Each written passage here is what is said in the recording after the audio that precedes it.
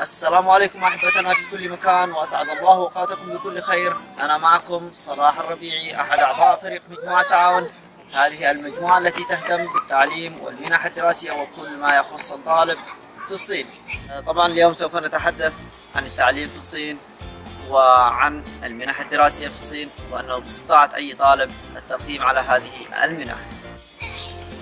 طبعا كما تعلمون الصين دولة متقدمة وبدأت بالارتقاء بالتعليم وبالأمن وما إلى ذلك من جميع مناحي الحياة. فالعيش في الصين يعتبر عيش رائع جدا ومناسب لجميع الطلاب. وذلك من حيث أن الطالب يعيش في ظل جو تعليمي آمن ومتكفل بجميع ما يحتاجه الطالب. الصين بدأت بالاهتمام بالتعليم وبدأت جامعاتها تنافس جامعات العالم والجامعات الأوروبية والجامعات الأمريكية وغيرها. حيث أن جودة التعليم تعتبر عالية جدا والتجهيزات التي الموجودة في الجامعات تعتبر تجهيزات عالية المستوى ويتوفر جميع الأجهزة وجميع التقنيات وجميع الكتب والمراجع والتسهيلات. أيضا الصين سهلت المنح الدراسية ولأجل نجاح جودة التعليم في في الصين بدأت في إعطاء منح كثيرة لجميع الطلاب الأجانب من جميع أنحاء العالم ومنهم الطلبة العرب حيث تعطي الصين أكثر دولة تعطي منح للطلاب من جميع أنحاء العالم. هذه المنح تعتبر كثيرة جدا وعددها بالآلاف. فيستطيع الطالب التقديم على هذه المنح بكل بساطة أولا سوف نجزئ أنواع هذه المنح. هناك منح المقاطعات الصينية وهناك منح الجامعات الصينية وهناك منح الحكومة الصينية. منح الحكومة الصينية تعتبر هي الأكثر مميزات والأفضل لجميع الطلاب. هذه المنح شاملة لجميع ما يحتاجه الطالب هنا في الصين سواء الرسوم الدراسية أو المصاريف الشهرية التي تصل إلى أكثر من 500 دولار شهريا. أيضا السكن والتأمين الصحي وما إلى ذلك من المميزات الأخرى التي يحتاجها الطالب. بالنسبة لمنح المقاطعات منها منح كاملة ومنها منح جزئية وكذلك المنح منح الجامعات.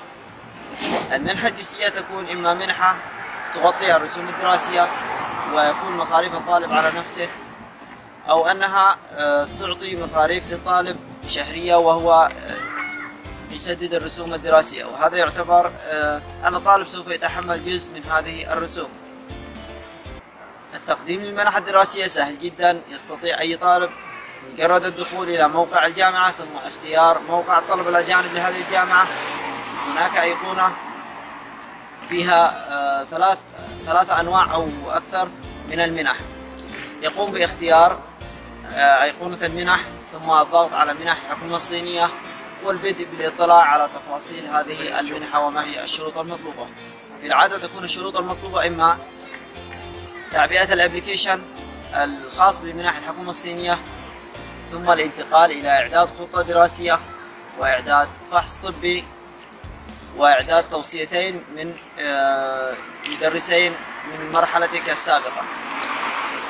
بالنسبة لإعداد الفحص الطبي يتم تنزيل الفحص الطبي من الموقع ثم الذهاب بهذا الفورم إلى أقرب مستشفى موجود في الحي الذي أنت موجود فيه لعمل هذا الفحص وتعبئة الفورم. أيضا بالنسبة لكثير من الطلاب يسألون عن العمل هنا في الصين. العمل هنا في الصين متوفر بشكل كبير جدا. هناك أعمال غير قانونية وهناك أعمال قانونية وهي أعمال جزئية بالنسبة للطالب. أما بالنسبة إذا لديك فيزة عمل فالعمل متوفر بشكل كبير. بالنسبة للعمل غير الجزئي أو العمل غير القانوني للطالب إما أن تشتغل كمدرس أو أن تعمل في أعمال أخرى مرتبطة بجامعتك أو مرتبطة بمجال بحثك أو أعمال تجارية وهي في الغالب الطلبة العرب يعملون في الأعمال التجارية بشكل كبير حيث تستطيع الذهاب إلى المدن التي فيها المصانع في الصين لشراء بعض الأغراض التي يريدها التجار في بلدك. ثم تصديرها لهم. وهذا يعتبر من السهل جدا ومن الأعمال المربحة ولكن يجب أن تكون حذر أو أن يكون لديك آه، هدف في العمل ويكون لديك فيزة عمل. إذا لا تريد الدراسة أو وصلت إلى هنا للصين وبدأت بتغيير وجهة نظرك حول آه، بداية عمل أو ما إلى ذلك. شكرا لكم ونتمنى لكم التوفيق والنجاح. كنت معكم أنا صلاح الربيعي. إلى اللقاء.